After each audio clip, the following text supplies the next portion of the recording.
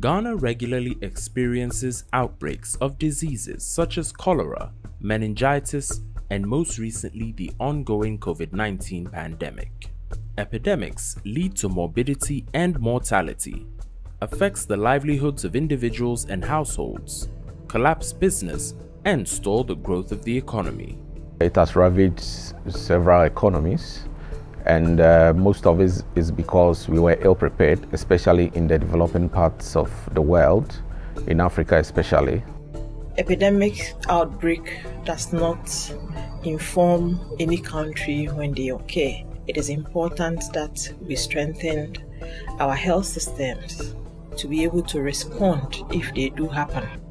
The infrastructure in Ghana to respond to epidemic was extremely minimum so that is why Send Ghana decided to seek financial support to be able to advocate.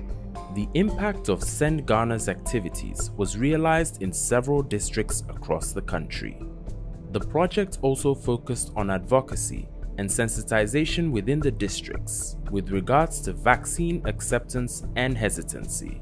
On a number of occasions, I've been with uh, the district coordinator, Mr. Nana, we have been to radio stations several times to do a sensitization on the COVID as well as the vaccination. In some areas, we do house to house. So people start to understand why they should even take the vaccine. Sen believes that the efforts of the project have influenced EPR decisions in the district's mainstream activities. SEN has trained us on how to engage duty bearers and government in particular to set aside funds for epidemic preparedness.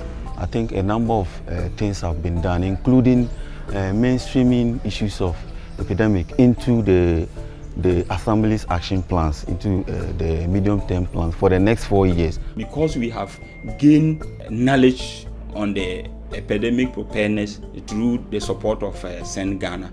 We did a presentation on that to the uh, development subcommittee members and they proposed to the executive uh, committee that they want the assembly to set up. The COVID 19 pandemic has taught Ghana great lessons of the importance of early and continuous preparation for unforeseen health threats and the need for a dedicated response by government to mitigate the effects of epidemics. We don't have a defined fund that is dedicated for epidemics. And so I will want to ad advocate that there must be. If you look at the District Assemblies Common Fund, you just agree with me that it's not more common. So in case there is an epidemic, that's where the challenge might be.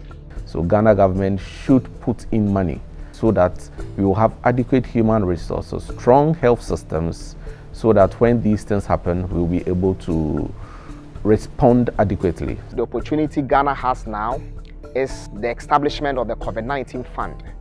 And we believe it will be useful for government to begin considering how we can tap into that fund for public health emergency response in general we need to continue to advocate so that the, the commitment that government has made can be translated each year. Even when this project is over, we would be using our advocacy to keep reminding our government that every year there should be a budget allocation for epidemic preparedness.